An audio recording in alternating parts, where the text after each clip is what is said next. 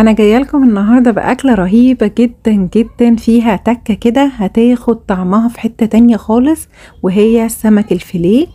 قبل ما نبدأ الفيديو أنا اسمي نهى متنسوش ال like والاشتراك إذا عجبكم الفيديو. معايا المكونات فلفل طماطم ملح كزبرة كمون وهعصر عليهم ليمونة وهنزل بالمكونات كلها وهضربها في الميكسر وهنزل عليها بشر ليمونة.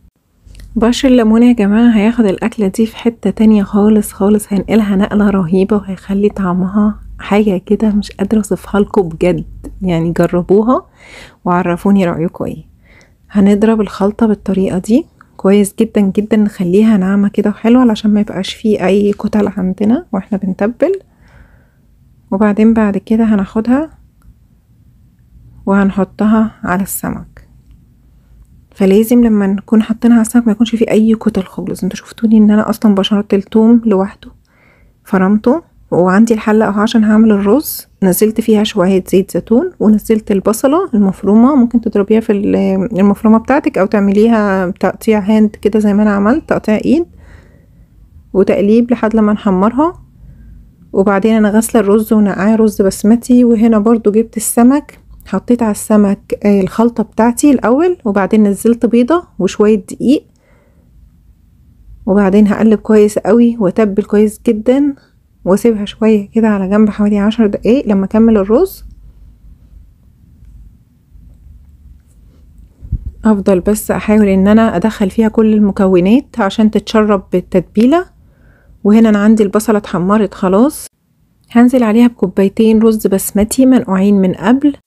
وهنزل عليها بالتتبيلة ورق لورا قرنفل كزبرة كمون Maggi ملح و garlic powder بودرة الثوم وهنزل عليها بكوبايتين مية.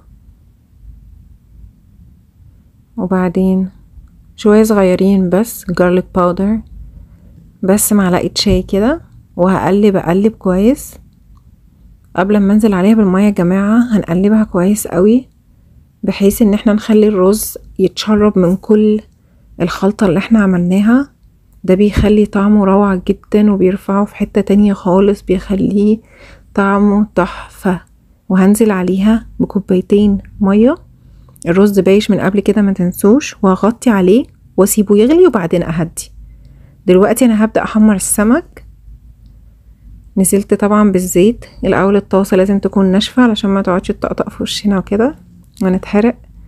وبعدين حمرت الزيت قدحته كويس لازم الزيت بتاع السمك يتقدح كويس. وبعدين بعد مش كويس يعني يطلع دخان لا بس يتسخن كويس قوي الأول. وقبل ما يطلع دخان كده يعني تتاكدي إن هو سخن بتتبليه في الدقيق. بنتبله في الدقيق كويس وبعدين بننزله في الزيت. وما نحركوش خالص ولا نلمسه نهائي. إلا بس لما نتأكد إن هو أحمر من تحت بدأ يتماسك القوام بتاعه علشان ما يتفرفطش منا عشان ده سمك فيليه. وبعدين بعد كده نقلبه على الناحية التانية. طب طبعا زي ما شفتوا معايا في الأول وأنا بحضر التتبيلة أنا اتعمدت إن أنا أكتر التتبيلة وأحط البيضة وشوية الدقيق علشان أعمله زي ما بنعمل كده اللي هي التتبيلة بتاعة الكنتاكي إن لما أجي أحطه في الدقيق بعد كده عاوزاه يكون كله سايل علشان عشان يبقى الدقيق عليه وينزل ويديني في الآخر الكرانش اللي هو بيبقى في الكنتاكي والشكل الحلو الجميل ده يعني شكله بجد طلع يشرف وروعة جدا زي ما أنتم شايفين.